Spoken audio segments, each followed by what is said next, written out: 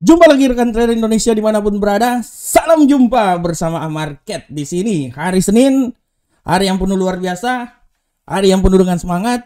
Kita bertempur terus dalam dunia trading. Oke, rekan trader, hari Senin tanggal 13 Mei 2024. Seperti biasa saya datang kembali lagi memberikan analis harian buat rekan trader. Dan saya selalu berharap Bukan cuma saya tapi kami dari Amarket selalu berharap apa yang kami berikan ini bermanfaat untuk rekan trader semuanya di Indonesia. Oke rekan trader, hari Senin pergerakan pasien yang sangat luar biasa akan segera dimulai dan untuk minggu ini hati-hati besok akan ada news, akan ada statement yang dikeluarkan oleh Gubernur Sentral Bank Amerika Jeremy Powell dan nanti hari Rabu akan ada data inflasi. Jadi prinsipnya kita akan menunggu sampai keadaan itu dikeluarkan baru kita akan melihat arah pergerakan yang lebih pastinya ke depan seperti kayak gimana walaupun tendensi data inflasi masih terus tinggi sehingga bisa membuat kenaikan tingkat suku bunga pelemahan tingkat suku bunga agak ditunda sehingga bisa memberikan sedikit pencerahan kekuatan untuk kenaikan dolar Amerika. Tapi kita akan melihat semuanya rekan trader mulai dari besok dan hari Rabu nanti. Tapi sebelum kita masuk, mari kita lihat dulu seperti biasa hari Senin, saya coba mereview lagi data-data yang akan coba terjadi pada minggu ini. Oleh karena itu rekan trader, kita coba langsung ke platform. Nah, untuk di platform saya coba merekomendasikan apa yang terjadi selama satu minggu ini. Ya, untuk satu minggu ini saya masih tetap untuk indeks dolar Amerika walaupun banyak memprediksikan dolar Amerika mengalami kenaikan tapi saya bisa bilang bahwa tidak tertutup kemungkinan dia mengalami pelemahan rekan trader dan dia mencoba turun sampai di level 104 walaupun masih juga punya peluang sampai di 105.819 sedangkan untuk euro angkel sam dolar euro angkel sam dolar di tengah persepsi penguatan yang saya ambil tapi tidak tertutup kemungkinan bisa saja dia turun. Karena data inflasi yang akan dikeluarkan pada hari Rabu nanti selain besok. Ada statementnya. Jadi dia berusaha sampai di seputaran 100 1.08316 dan nilai terendahnya di 1.0762 begitupun juga pound sterling penguatan masih dalam rangkaian persepsi saya. Tapi sekali lagi saya bilang bahwa pelemahan juga masih akan tetap ada dan 1.24524 merupakan nilai yang bisa terjadi dan untuk gold seperti biasa gold saya memprediksikan di tengah tendensi di mana dolar Amerika meningkat, menguat di permulaan minggu ini, saya masih tetap bilang bahwa gold ini masih bisa punya peluang naik sampai 2392. Ya akan menunggu sampai bagaimanakah dia bisa naik lebih tinggi lagi, apakah dia bisa menembus 2400 32 seperti apa yang saya prediksikan kita akan lihat bersama-sama rekan trader ya. Walaupun tendensi pelemahan masih bisa terjadi dan dia bisa jatuh sampai di posisi 2282. Dan untuk USD yen Jepang USD yen Jepang kalau kita lihat rekan trader peluang penguatan masih tetap ada walaupun penguatan dia ini paling maksimal itu sampai di 157.6783 ya rekan trader ya. Tapi tendensi pelemahan sangat besar dan tidak tertutup kemungkinan dia akan turun sampai di posisi 152 poin 49693. Oke rekan trader, tadi adalah uh, rangkaian analisa yang coba saya bawakan selama satu minggu yang telah saya sampaikan pada hari kemarin ya dan biasanya untuk hari Senin saya coba mengulang lagi. Dan sekarang kita coba masuk di tema harian kita pada hari ini. Untuk tema harian kita pada hari ini masih tetap seputar emas karena saya senang dengan emas ya. Tapi gigi saya bukan gigi emas. saya senang dengan emas karena emas ini merupakan aset yang seksi untuk diperdagangkan.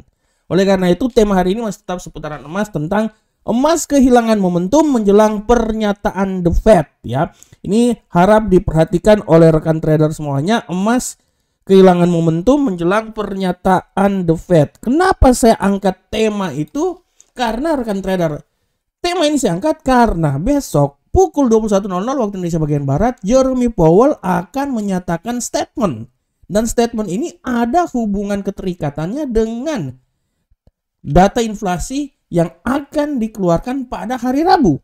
Nah, emas turun pada saat ini karena pasar mereaksi akibat data inflasi yang diperkirakan masih tetap naik sehingga membuat sikap hawkish masih akan terus terjadi.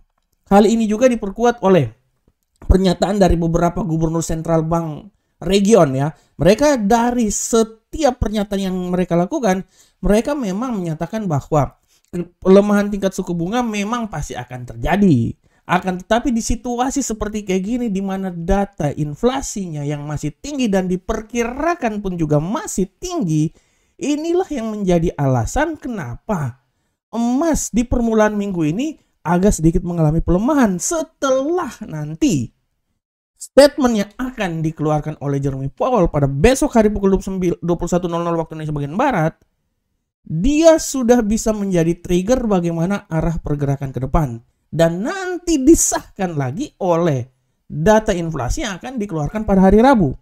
Dari situlah kita akan bisa melihat apakah data inflasi yang dikeluar ini makin sedikit tinggi atau masih sama seperti biasanya. Dan inilah yang menjadi alasan kenapa dari data inflasi ini akan dirumuskan untuk pemangkasan tingkat suku bunga oleh The Fed. Kita tahu semuanya bahwa bulan Maret tidak jadi bulan Sep, bulan uh, Juni tidak jadi, bulan September diprediksikan sekitar 80%. Nah, di saat itu baru bisa diturunkan tingkat suku bunga. Di dalam menjelang pelemahan tingkat suku bunga tersebut, pasar akan selalu bergejolak dan walaupun sekali lagi tendensi hawkish yang digaung-gaungkan oleh gubernur sentral bank region akan tetapi Jeremy Powell masih ada sedikit harapan untuk menyatakan dovish. Oleh karena itu, rekan trader, apabila ini terjadi sesuai dengan prediksi yang dilakukan oleh pasar, artinya emas punya peluang yang besar mengalami sedikit koreksi atau sedikit pelemahan. Dan ini adalah hal yang wajar dan dia akan menunggu momen yang luar biasa untuk dia bisa naik kembali lagi ke zona 2004. Oke rekan trader, demikianlah tema harian kita pada hari ini dan sekarang kita coba langsung masuk di analisa teknikal. Seperti biasa rekan trader, analisa teknikal ini kita akan mulai dari indeks dolar Amerika. Kita akan coba langsung. Oke, indeks dolar Amerika saat ini. Saya coba langsung buka. Oke. Ini adalah indeks dolar Amerika dan kita akan coba langsung masuk di indeks dolar Amerika. Oke, indeks dolar Amerika pada saat ini rekan trader kalau kita lihat dengan jelas, pergerakan indeks dolar Amerika saat ini dia benar-benar wait and see Walaupun tendensi bullish pada awal minggu ini sangat kelihatan, tapi pada prinsipnya dia wait and see. Oke, kita akan berasumsi bahwa dia akan bullish. Kalau memang dia akan bullish, artinya dia punya peluang naik lebih tinggi sampai di level 105.291 ya.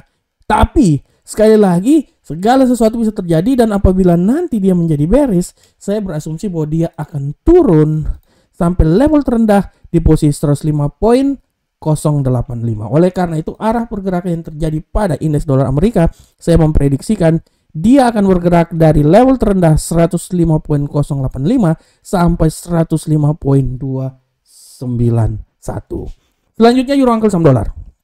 Kita lihat untuk euro angkel sam dolar, rekan trader semuanya. Pergerakan yang terjadi pada euro uncle sam dolar hari ini, kita bisa lihat bahwa euro uncle sam dolar masih tetap wait and see, ya, masih tetap wait and see. Dan kalau kita lihat rekan trader, peluang kenaikan masih tetap ada di tengah pelemahan yang bisa saja terjadi.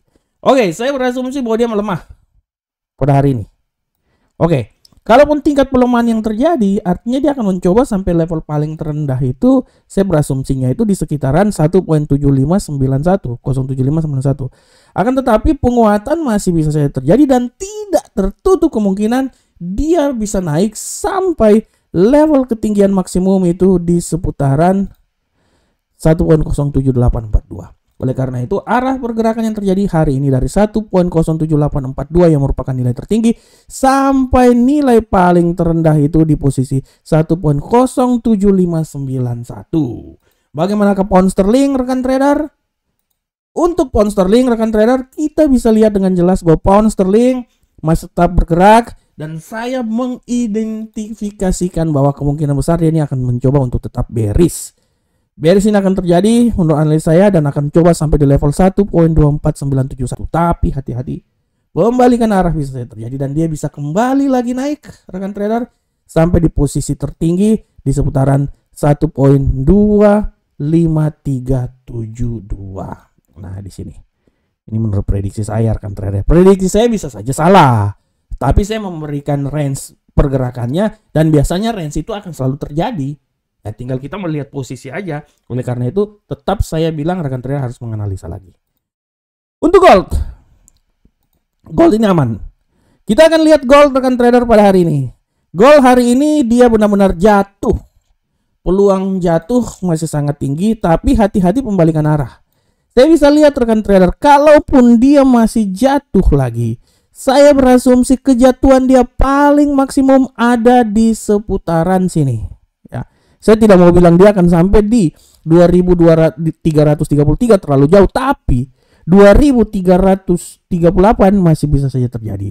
Tapi sekali lagi hati-hati pembalikan arah. Pembalikan arah ini bisa membuat dia balik lagi ke selera asal 2366 melewati level 2350. Jadi arah pergerakan dia pada hari ini menurut analisa saya rekan trader dia akan mencoba dari level paling tertinggi di atas ini sampai level paling terendah di posisi 23 2338.59 dan level tertinggi di 2366.16.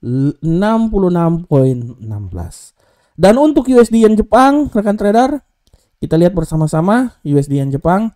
USD yen Jepang pada saat ini tendensi bullish masih sedikit merajai pergerakan yang terjadi pada USD yen Jepang.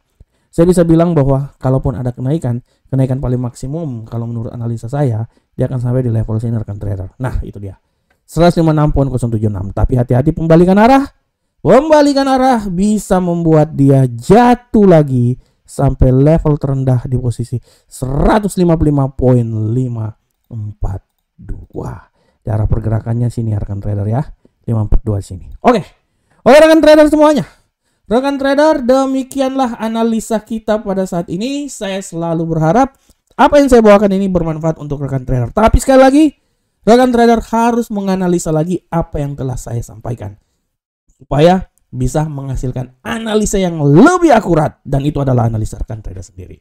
Sampai ketemu kita di pertemuan berikutnya. Assalamualaikum warahmatullahi wabarakatuh. Salam profit Indonesia.